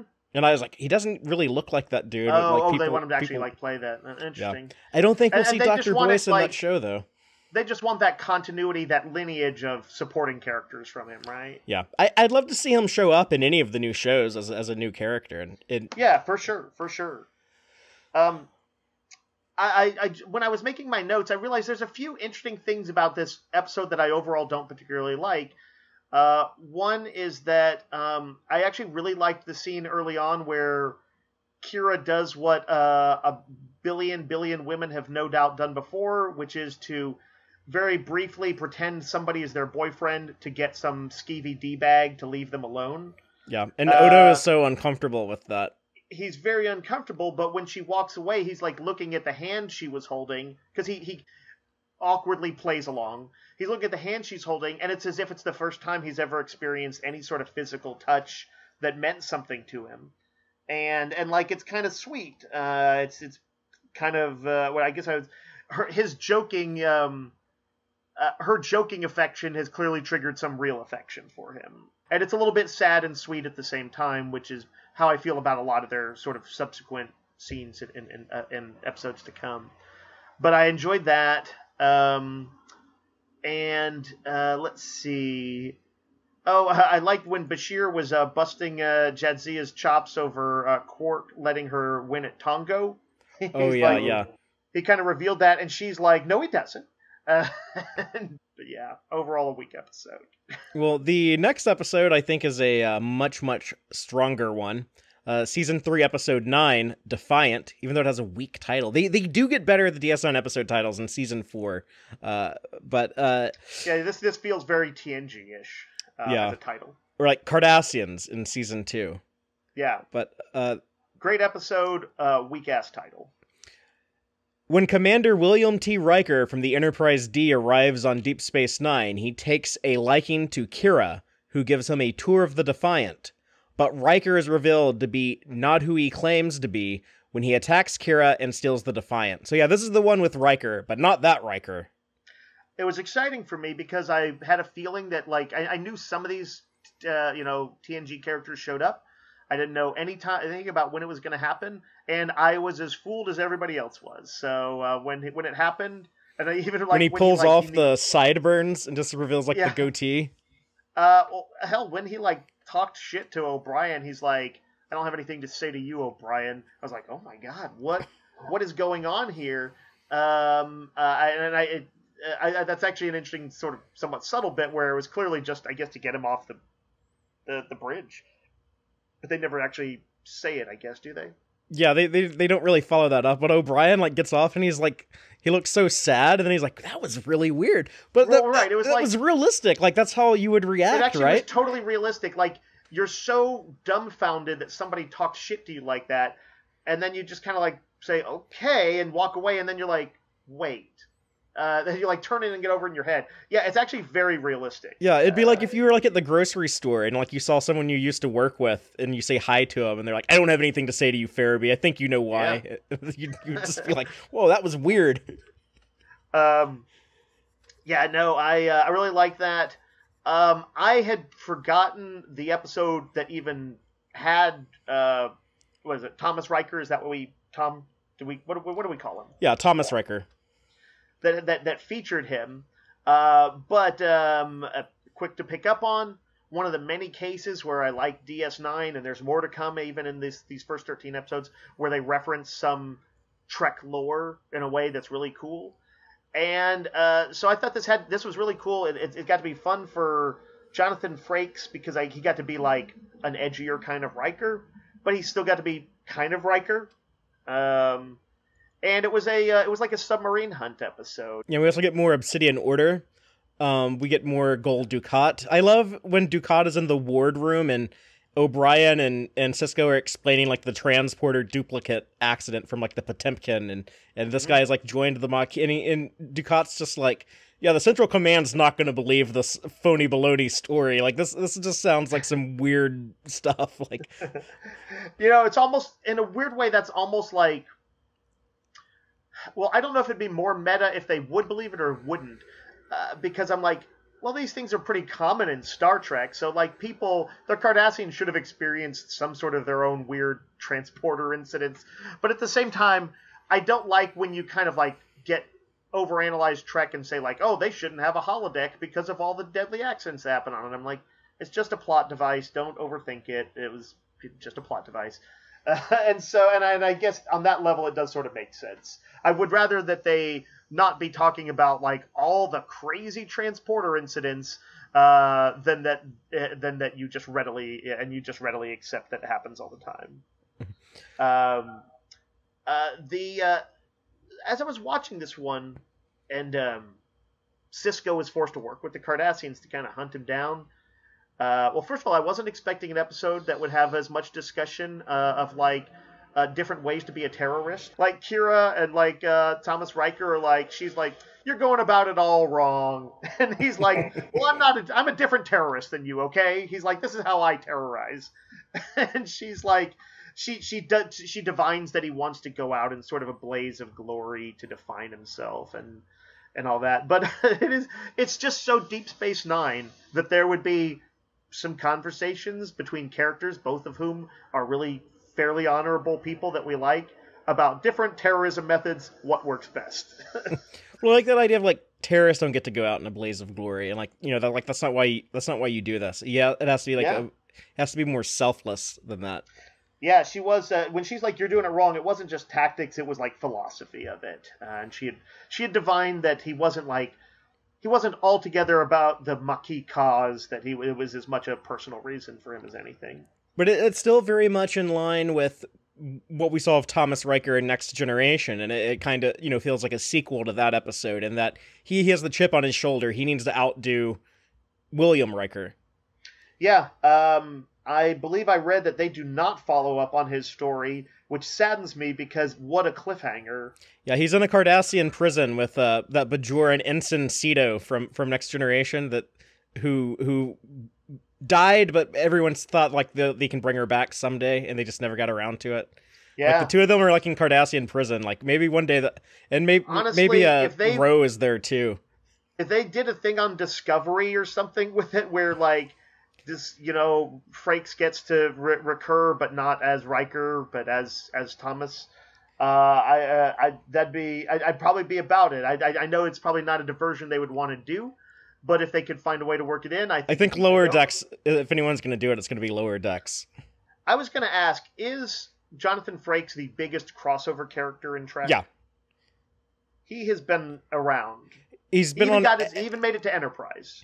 Yeah, he's been on every way show except for the original series, the animated series, and uh, Discovery. But he's directed a lot of Discovery. Right, that's pretty impressive. Uh, that's pretty impressive. I got to see him on Discovery now. Um, so one of the notes I made while I was watching this episode was that while they're hunting them, there is a lot of techno babble that's thrown around, so like how they're tracking them, how they're avoiding being tracked, and you know, Obsidian Order stuff that even Gul Dukat didn't know about that's going on.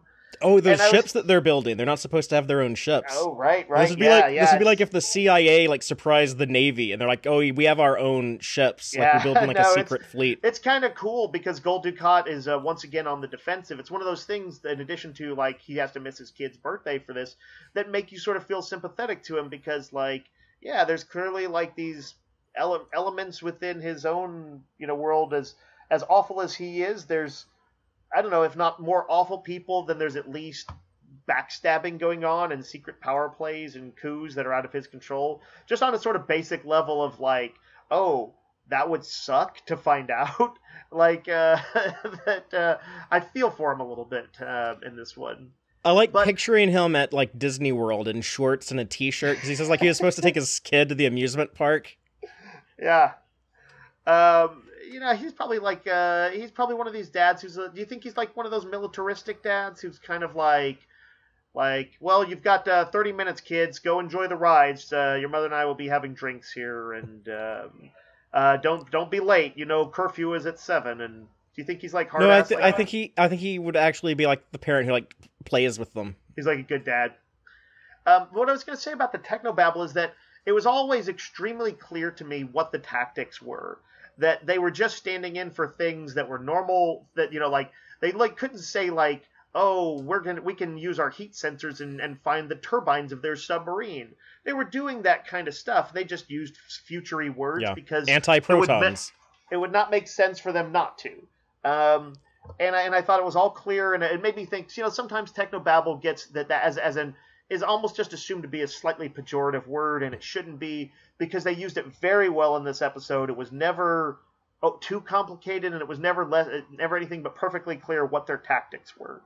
So I thought that was cool. Uh, I, I sometimes like it. It was written by Ron Moore. Ron Moore knows how to write Yeah. that stuff, I guess. And in fact, I thought he went too far with Battlestar Galactica and taking removing any techno technobabble sort of from the discussions, or almost all of it. He also drops not one but two 47s into this episode. Oh my There's god! the uh, Cardassian Outpost 47, and then Kira's uh, code to like turn over uh, access to the Defiant to to Yeah. Riker. Her code is like Delta 547. I uh, I'm gonna have to drop a star from my review now. You know, um, it occurs to me that there was a p- part of what I liked was even though I, I know this also saved on special effects, but when you, know, there's a lot of times when you just see the ships on like a grid on a computer grid and you're just looking at like an abstraction of them. It's like looking like at Battleship or something like that. But I liked it. Um, it reminded me of kind of the uh, scene where they're watching this the, the in in the Tom Clancy movie. Um, oh shit! It's the second. Uh, it's the first one with Harrison Ford. Um, The Hunt for Red October. No, it's the one right after that. Harrison Ford took over from Baldwin. Uh, not clear, clear and present danger. No, it's the one right. Patriot Games. Patriot Games.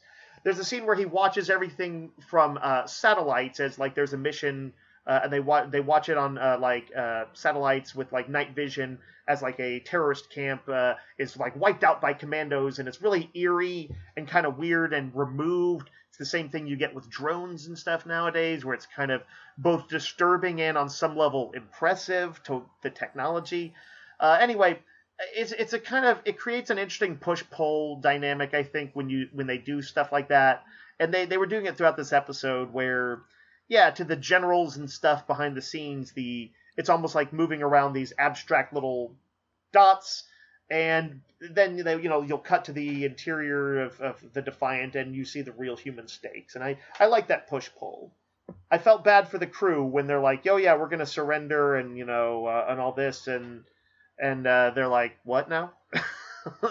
But I like seeing like the negotiation process with Sisko and Gul Dukat about like okay, because it Sisko was like complex. Gul Gul Dukat just wants to like blow up the Defiant, and Mm-hmm. Sisko's like, "Whoa, no, no, I, like I really like that ship. I want to keep it, but like, uh, I I need I need the the crew to be turned over to the Federation." And and Gul Dukat's like, "No, like someone has got to answer for this. Like they're not going to blame this on me. They got to blame it on someone else." And hmm uh, th- but he's like, "Okay, you can have Riker, but not the death penalty." so it's all the Yeah, like the no, back and actually- forth of that. They they get into like the nitty gritty of negotiating it uh, a little bit. Not boring stuff, uh, like it happens in a pretty interesting way. But yeah, I agree. That was that was cool to watch. And some Um, cool, It felt, uh, it, felt, it felt real.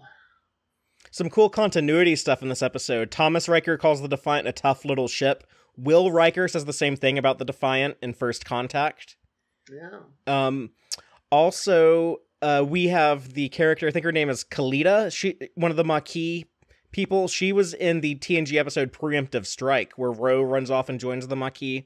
Oh, so she is she's a Maquis we've seen before. Mm-hmm. Oh, Uh, it's cool. it's the first use of quantum torpedoes in Star Trek. I wondered when I heard when I heard that mentioned. Uh, I, I wondered about that. Lot, by the way, lots of great shots of the Defiant in this one. It looks cool as hell. And this also has uh, the woman who played Rachel Garrett, the captain of the Enterprise C in uh, yesterday's Enterprise, and then she plays a, a Klingon woman on on TNG also. But uh, Tricia O'Neil, uh, she plays the uh, Obsidian Order observer lady. Yeah, yeah. The, who who kind of undercuts a lot of Garak's authority in this one. Uh, We're at fun Ducat's. To, fun to watch. Uh, the only thing I think I kind of disliked about it is a very minor thing overall was uh, that uh, Kira would like particularly fall for Riker. I, I know Riker has like he kind of does the James Bond everyone is charmed, but didn't particularly seem like Kira's type. Uh, so uh, the his like uh, his old timey kiss to her at the end sort of sort of rang a little false. He's also going to prison for life, so he's like, I will probably never see another woman the rest of my existence. So I, I cut him a little slack. Uh, I guess I buy it from him. I don't know if I buy it from that that she would be so such a willing recipient, but uh, uh, it didn't uh, didn't particularly hurt the episode either. And I do want to I do want to learn of his fate one day. Jonathan Frakes is uh, such an easy get that uh, I wouldn't be surprised with all the Star Trek in production. Wouldn't be surprised if, if they do follow up on it somehow, someday.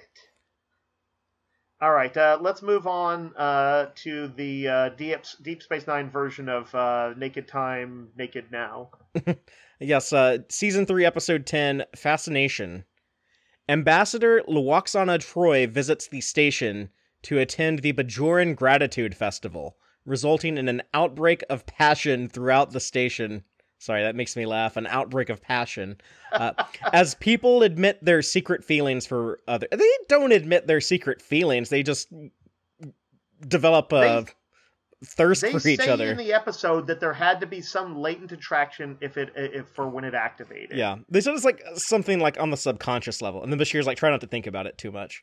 Yeah, because like Bashir and Kira have never had a particular thing, but that is what happens in there. So, um, well, uh, all, off camera, like the the actors, uh, Nana Visitors gives birth to Alexander Siddig's kid. So, uh, I mean, fair, fair. I guess so. They're. kissing I think they really liked the uh, like the kissing they were doing in this their episode. kissing was more passionate than anybody else's on there. I was like, oh man, they're gonna just start showing tongue. Yeah, yeah. They were like, hey, like that was really fun. Like uh, when we get off work, let's go do some more of that. Yeah, well, fair enough. I hope they enjoyed enjoyed it. They, they were hardworking actors and uh, they deserve their fun. Um, that said, uh, I usually have very mixed feelings about Lwaxana appearances, and this one was no exception. I don't like seeing her sort of essentially like bullying people into dating. It's like it's creepy and coercive. Um, the uh, I don't like particularly enjoy watching the discomfort of whoever her latest victim is, whether it's Picard or Odo. um, but she had had a great episode with Odo. That's that was what season? Season one. Season one, yeah. So, um, so I was at least open to it. Uh, overall, I was not really into this episode, though, other than like little bits and pieces and fun, you know, a few fun vignettes. I like the Bajoran Gratitude Festival. I like seeing everyone just like celebrating a Bajoran holiday. I like Quark cool trying to uh, uh, commercialize it. It's like that whole idea of like the commercialization of holidays. Yeah. He, he's even doing like some cultural appropriation. He's running around with a Bajoran earring in his ear. Um, yeah, that's true. That part works. Uh, I forgot to also say Peldor joi to you, Father. Oh yeah, Peldor joi. I I liked the idea of like the scroll burning. You write down your problems and burn yeah. them. I, I don't know what that tradition is called, but I know people who do that uh, in real life and in, at, at New Year's. You know about this, Fatheree? I've had several friends over the years who've done it, where they have like kind of a bonfire, and if you've got like an ex that you're trying to get past, you take all their letters and you burn them and symbolically you're freed from them. It's not exactly the same thing but it's it kind of it has some similar concepts behind it. And i think that idea has been around for for a bit. Uh, certainly i think would have been around in the 90s and so i think they were keying off probably at least somewhat things that people really did do. I think that the the trouble in paradise with o'brien and keiko felt pretty realistic here. Like when the shuttle arrives from bajor and Kira is there, you know, basically like at the airport waiting to see her boyfriend, and Bareil gets right. out, and they're all like passionately like kissing, and and they run off together. And then like when Keiko shows up, it's like a like She's Molly like, had like a shitty journey. Yeah, uh, Molly actually... throws up on O'Brien. Uh, what about like some of the the pairings in this episode? It was Jake is in love with Kira. Kira and Bashir are both in love with each other. Then Bareil is after Dax, but Dax is after Sisko. And then at the end, the uh, the funniest one is kind of disturbing to, to look at, but when Quark is rubbing his ear onto Keiko, and she just looks so disgusted in her face, like, "Oh my god, this this ugly little troll is basically like rubbing his balls on me." uh, you know, I feel like I most forgive Jake because he's young and goofy, and also because Kira was pretty hot in this episode. I think. Um, well, Keiko looked good in the red dress that O'Brien no, they likes. Did. Like, is, I can see know, why he likes that. Something, something I, was gonna say is like, um, I think this episode was kind of fun in that it let everybody kind of dress up, um, and that that that was just fun in a, a purely visual level. O'Brien's stuff with Keiko was felt pretty real at times. And I think didn't they reveal that he wasn't affected when he like kind of blew up at her? Yeah, and and I don't like that he got like that jealous over like the male coworker. Like, why are you like, seemed... airing out all of our problems to him? And I, he went I a little too far there. He was on edge because she, having been affected by Lwaxana's virus pheromones thing, um, had been like extra mood swingy and like really kind of, you know, like kind of pushing his buttons when he was really trying to do everything he could to make her return good, and he was really looking forward to seeing her. It got kind of crushed, and then then he snapped back. So I I somewhat get it psychologically speaking, but but I was like, yeah, yeah, Brian, geez, goddamn.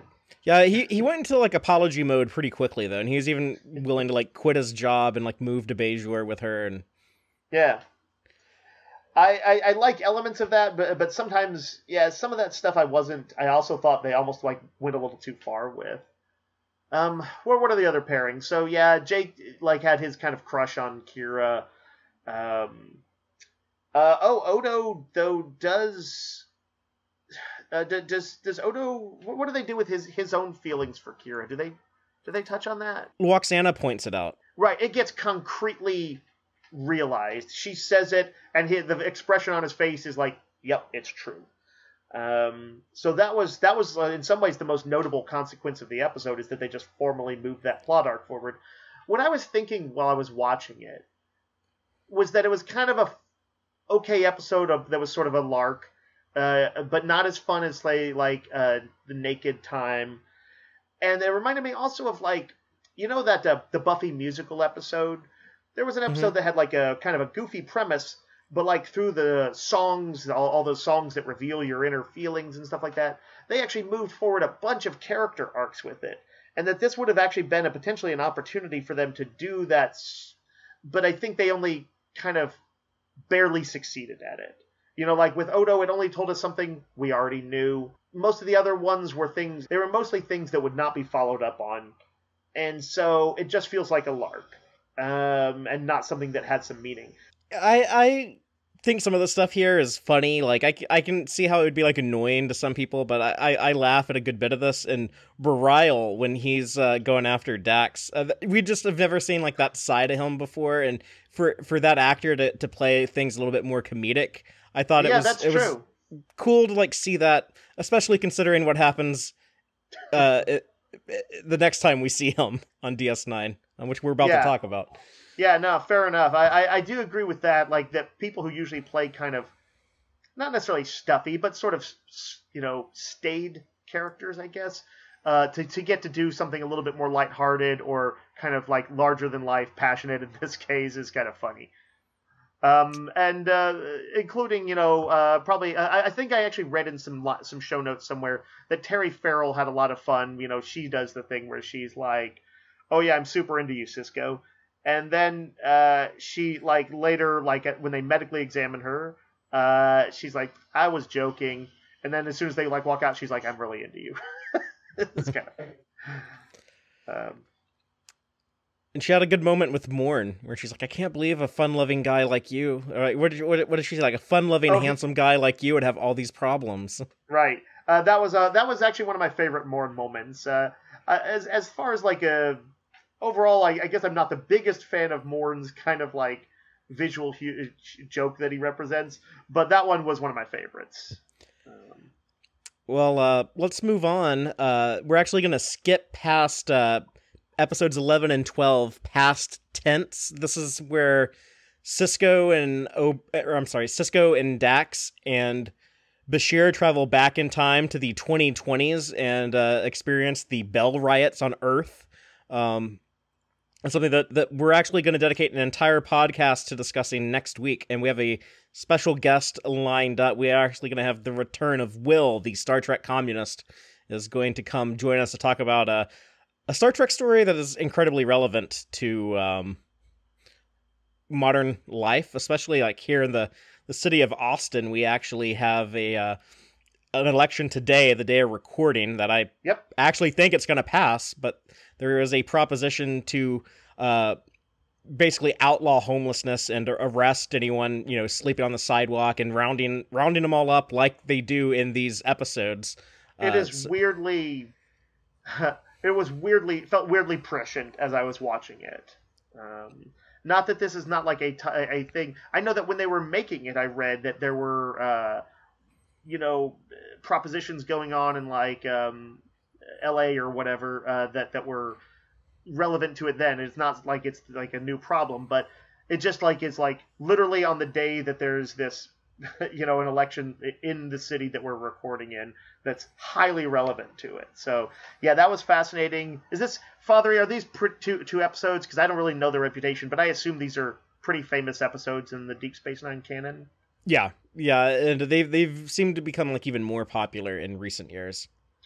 Uh, just for like allowing the characters to also kind of do period piece dress, uh, echoes of City on the Edge of Forever as far as seriousness.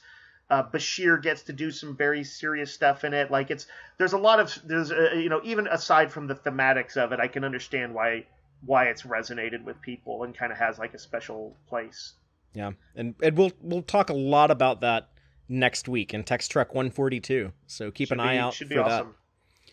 The Now let's end on this uh, delightful note, Fatheree, yeah, in a the, uh, story about um, I don't know euthanasia or something. yeah, uh, the episode Life Support, episode 13, the last that we'll talk about today. After a serious accident, Bashir struggles to save the life of Vedek Bareil, while Kai Winn conducts a peace treaty with Cardassia. Jake and Nog reluctantly explore the difference between Federation and Ferengi cultures. That's a uh, nice way of saying like they go on a double date where uh, Nog is a misogynistic asshole cockblock, but uh, that that is the that is the synopsis. I don't write them; I just read them. Uh, Dave, what do you think about this episode? Um, so I um I I liked the episode. I liked the A plot. I was not wild about the B plot. Uh, I'm just gonna quick say of the B plot two. I think two failings I've seen on Sisko as a parent, neither of which I take too seriously because they are kind of related to comedic styles of the time. One is that he's like, "Hey Jake, you got to give um, Nog a break about trying to treat women like slaves. Uh, it's just how Ferengi are, and you've got to we've got to learn to live with them." And I'm like, uh, "You are letting him off the hook way too easy." uh, uh, Nog needed to be called out, and uh, it, you know this this was more than just a difference of like they butter their bread on the other side. This was like a dehumanization thing that Nog was doing, even though it was played as comedic. I was like, "You, you messed up. You done messed up, Sisko." And then in a previous episode, I, I thought uh, when Jake was getting over losing his Dabo girl because she was moving off to the academy, uh, he's like instantly kind of a little toxically positive, and he's like, "You got to look up, Jake." He's like, "There'll be other girls." I'm like, "Let the kid have his feelings. Let him feel sad." Uh, so, I liked uh, I liked what they did way back when when Guinan schooled Wes and uh, or talked to Wes about it, and he's like, "Oh, there's never gonna be another one like her," and she's like, "You're right," and you know, it's just kind of like, Hmm. yes, this this person was like a moment in time. It's okay to kind of grieve the loss, but uh, but it is also true, especially if you kind of get away from the sort of the the, the movie style belief of the one uh, that um, that that that uh, yeah, you, you you should overall. I think Sisko's intent, yes, you'll be able to move on, is good. But uh, I think they wanted it to be a little comedic because he was supposed to be like, "Whoo, my son's not dating the Dabo girl," and and I was like, "Man, let the let the kid be sad." anyway, minor stuff. Um, the uh, uh, overall, this episode is like so so serious though. It has. Well, they had mentioned a few episodes back that uh, Vedek Bareil was like, "Hey, Kai Winn has turned over a new leaf. She's actually the, the job has changed her." And I was like, "There's no fucking way." She's like the worst person that I've ever seen on in Star Trek.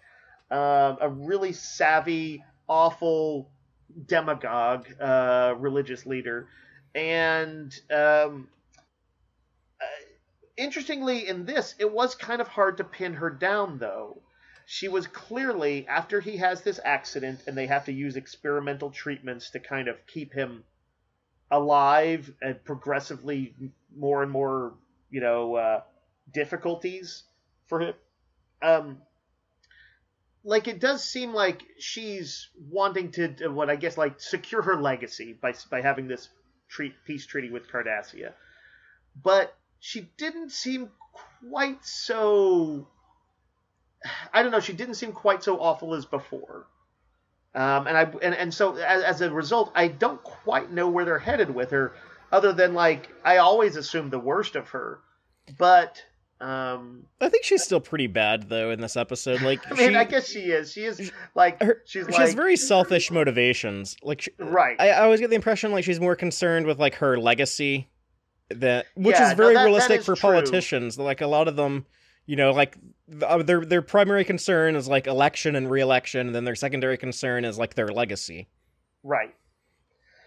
Yeah, no, I think it's only because like I was like, oh, I'm surprised that she's, you know, didn't crowd Vedek Bareil out altogether. That she wants to do a peace treaty with Cardassia at all. But they're all things that are expedient. They're all things that help her, um, and that she that that, that will, yeah, like leave create a, a greater legacy for her.